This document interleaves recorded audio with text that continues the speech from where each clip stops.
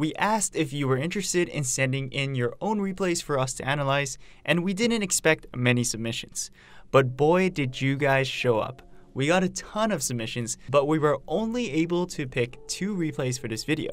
However, due to popular demand, we're gonna make this into a continuous series. This video was a lot of fun for us to make and extremely helpful to you guys as well that want to get better quickly. It's our goal to watch every single one of you guys play, so watch this video all the way through and then look in the description below for instructions on how to send in a replay. Alright, you guys are here for some gameplay analysis, so let's begin with some clips from our very own Silver Midget at Pro Guides.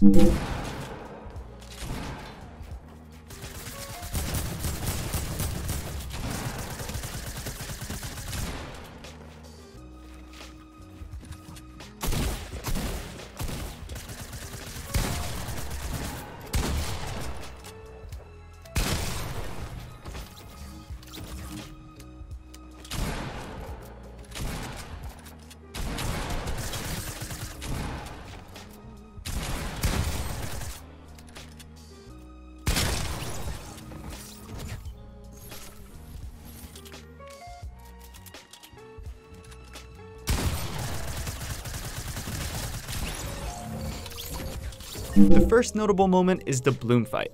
The enemy player had the first shot, but Silver still challenged the fight. Most players would build here, and that's the right thing to do in solo, but not squads. His teammate would have been left to die if he were to turtle, so Silver fought back and won the duel. One mistake that I do have to point out is that Silver didn't build after the aim duel and ended up dropping down for no reason. The result of the duel is that Silver created space for an isolated 1v1. For this fight, Silver confused his opponent by repositioning over the top, and then followed up with the movement trick of moving down the ramp and then jumping for a peek shot.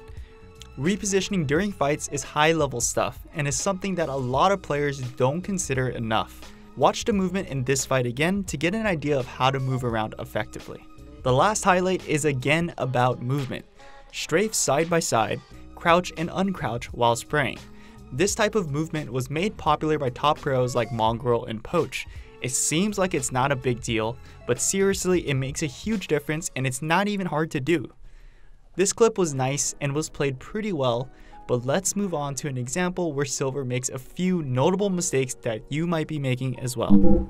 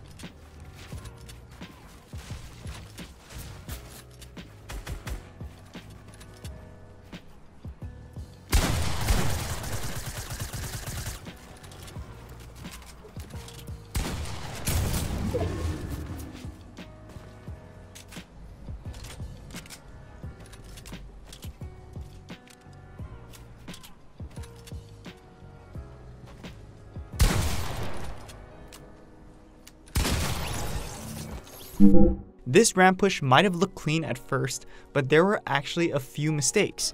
He could have been blasted by an edit play right here. All Silver had to do was put another line of cones and he would have prevented any of this from happening.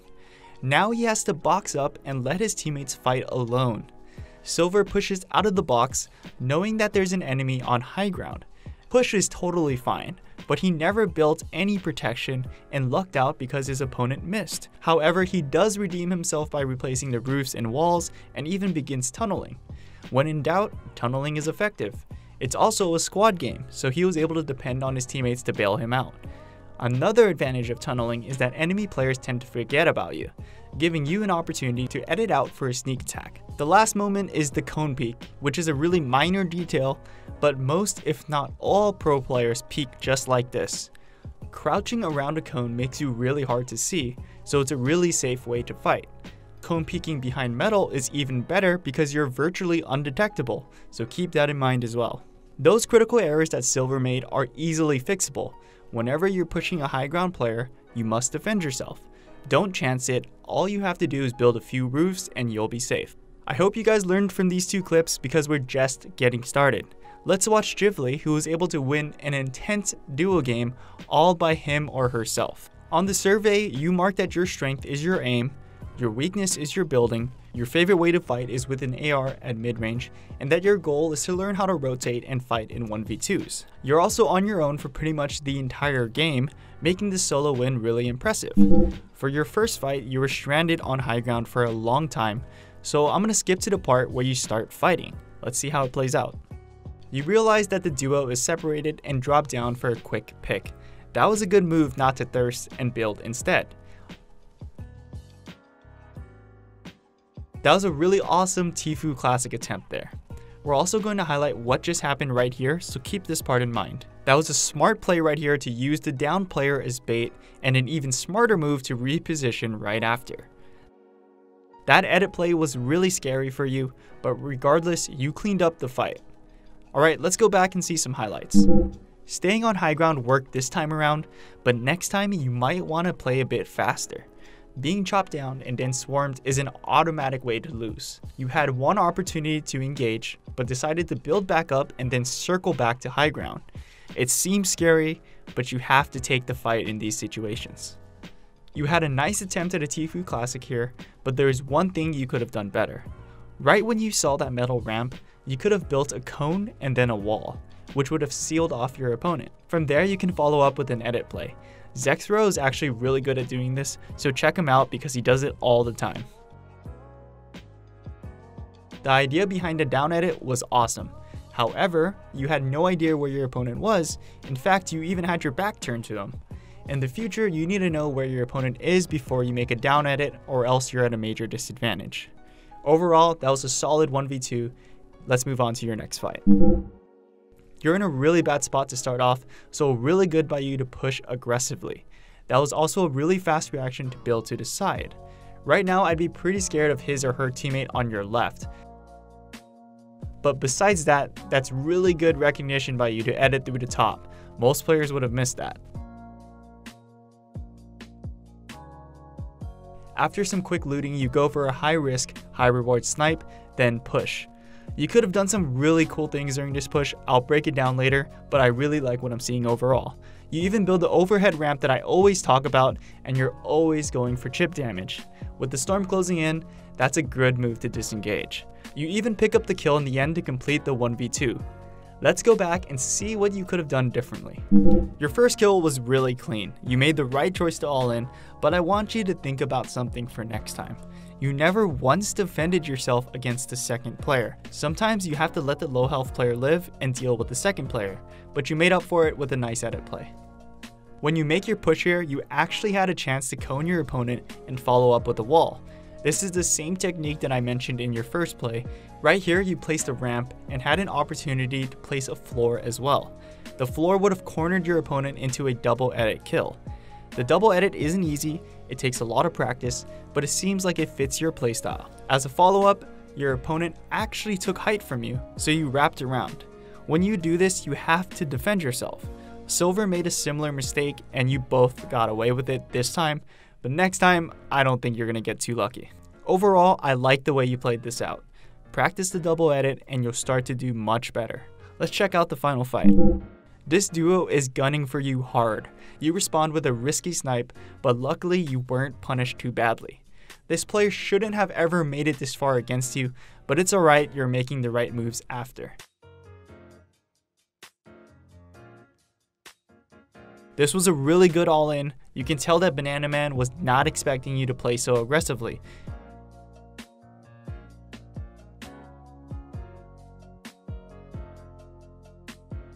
You also follow up with a nice disengage and another good all-in. I'm going to tell you a small trick to win fights like this a lot easier, but let's jump ahead to the final fight first. That was a good high ground peek right here, and man, these players are probably pretty new, so there isn't much to say here. All around, great win, but let's go back and break things down. You easily had the best position. You were right next to the zone with natural high ground, Despite this, you were sitting on a flimsy wooden ramp. This type of position needs to be invested in, so use metal and brick next time and make sure your base isn't flimsy. Here you definitely need to use your AR and SMG. This player was allowed to push you without cover for free. It's alright though, I do have to point out that I really liked your tracking right after, and of course, that was a nice all in. This drop down was really risky because you were spam jumping to the point where you had fatigue. Try crouch spamming next time, it's way better all around. Think about how Silver was moving in that first example. There isn't much to say here, you clapped a few bots, but I would have liked to see better target selection. You had the first player dead to rights, but then you switched targets. A competent duo would have ended you right then and there. Jivly, it was a pleasure to watch your replay. Practice the building techniques that I mentioned, and I'm sure you'll be able to 1v2 much easier moving forward. Please let me know how you're doing in a few weeks, I'd love to hear back from you. The next replay is from Lair, whose strength is building, weakness is game sense, and favorite way to fight is up close and personal.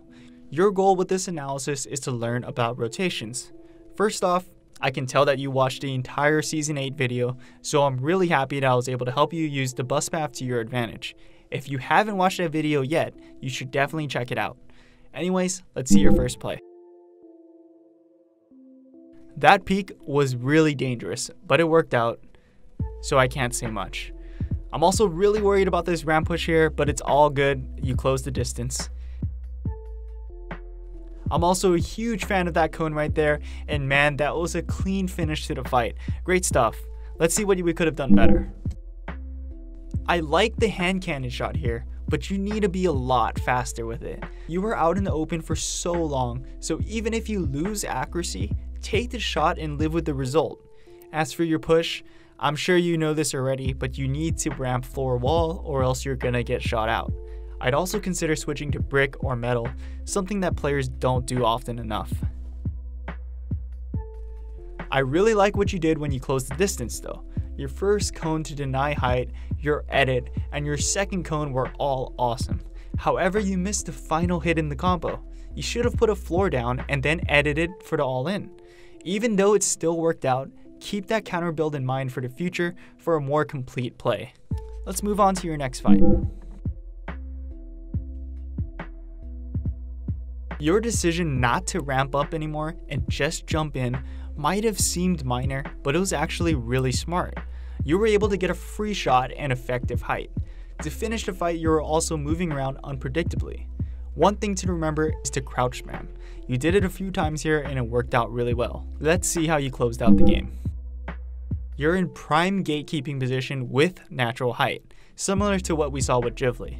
This game is basically yours to lose. You also made a similar mistake as Jivly. You need to be investing in this position. Use metal and brick next time you have a spot like this. Right here, you break shield and engage. In terms of playing to improve, this is fine. However, this wasn't the play to win the game. You recovered though by committing to the play and going for the kill despite being third partied. We know how the game ends, so let's talk about rotations and how it won you the game. The bus moved from Pleasant Park to Lonely Lodge, and you dropped in the northeast corner of the map. I would consider that a medium risk drop since it's in line with the bus path. The circle even spawned on top of you, so you kept looting and were never in a dangerous position, meaning that no one was really behind you. Eventually, the circle closed and you snuck up on a player and claimed the best position. So far, you've shown nothing but smart rotations. People might not like this playstyle, but it's clearly effective. I think you're at the point where you have the groundwork of how rotations work. You just need to get out there and experience it from multiple perspectives. Everything aligned for you this time around, but it probably won't next time.